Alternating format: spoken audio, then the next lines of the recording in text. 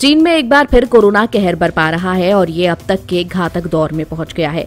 देश से zero Covid policy हटते ही कोरोना के मामले तेज़ी से बढ़ रहे हैं। एक्सपर्ट्स आने वाले समय में चीन में कोरोना से लगभग 20 लाख लोगों की मौत होने की आशंका जता रहे हैं। कहा जा रहा है कि अगले 90 दिनों में चीन की लगभग 60 फ़ीसदी आबादी कोरोना संक्रमित हो सकती है।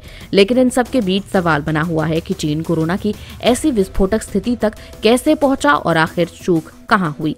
चीन में कोरोना की नई लहर दुनिया भर के लिए चिंता का कारण बन गई है। दिसंबर 2019 में चीन के वुहान शहर से शुरू हुआ कोरोना, अब एक बार फिर घातक रूप में लौट आया है। एक्सपर्ट्स का दावा है कि कोरोना के मामले घंटों में दोगुने हो रहे हैं। देश से बिना किसी खास तैयारी के ज़ीरो कोविड पॉलिसी हटाने के गंभीर परिणाम देखने को मिल रहे हैं। चीन में बीते कुछ समय से ज़ीरो कोविड पॉलिसी हटाने का पुरजोर विरोध किया जा रहा था। सरकार ने इस विरोध को शांत कराने के लिए अचानक ज़ीरो कोविड पॉलिसी हटा दी, लेकिन इससे हालात ऐसे बन गए कि कोरोना का ओमिक्रोन वेरिएंट तेज़ी से फैलने लगा।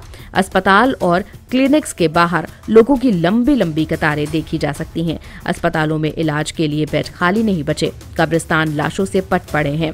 शवों को दफनाने के लिए कई कई दिनों का इंतज़ार करना पड़ रहा है। चीन में हालात ऐसे बन पड़े हैं कि शहरी इलाकों से ग्रामीण आबादी में कोरोना तेज़ी से फैल रहा है। इसकी वजह है कि लंबे समय से चीन में लगी ज़ीरो कोविड पॉलिसी को हटाते ही लोगों का बाहर निकलना शुरू हो गया है। ग्रामीण क्षेत्र से लोग रोज़गार और अन्य आर्थिक गतिविधियों के लिए शहर आ जा रहे हैं और कोरोना लेकर लौट रहे हैं। ऐसे में कोरोना से कुछ हद तक बचे ग्रामीण क्षेत्रों में भी कोरोना दोबारा फैलना शुरू हो गया है।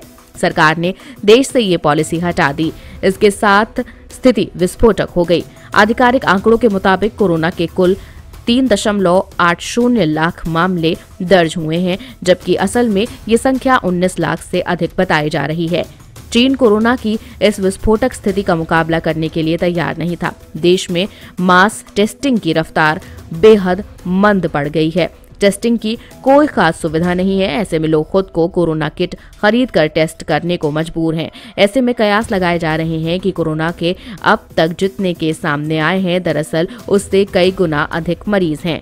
चीन की ज़ीरो कोविड पॉलिसी के पीछे सरकार की मंशा, देश में कोरोना का एक भी केस नहीं होने देना था। लेकिन चीन में हालिया कुछ घटनाओं के बाद देश में इस पॉलिसी के खिलाफ लोगों ने मोर्चा खोल दिया। कोरोना के बीच कई देशों ने चरणबद्ध तरीके से लॉकडाउन हटाना शुरू किया था।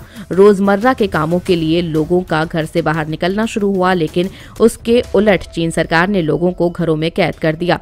इससे कोरोना से निपटने के लिए चीन के लोग की तैयारी दुनिया के अन्य मुल्कों के लोगों के मुकाबले बहुत पीछे है।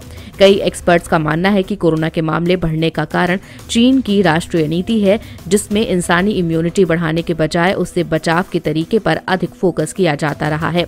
इस तरह की पॉलिसी का एक दुष्प्रभाव ये है कि चीन में बुज़ुर्गों की एक बड़ी संख्या है, जिन्हें बूस्टर डोज नहीं लगी है। देश की एक बड़ी आबादी बूस्टर डोज से महरूम है।